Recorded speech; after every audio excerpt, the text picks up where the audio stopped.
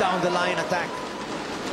And that smash will give Hafiz Hashim his biggest taste of the lead here in their very first game at two.